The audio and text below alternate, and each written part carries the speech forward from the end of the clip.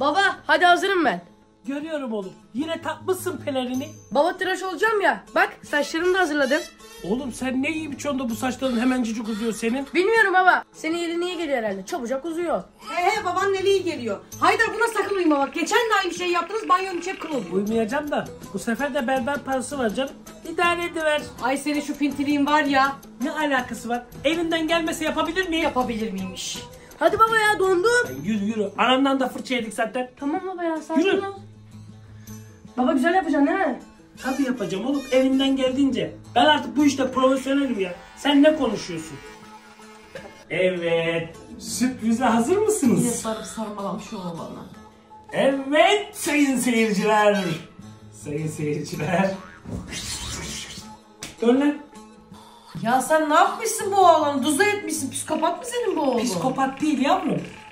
Ergen, ergen.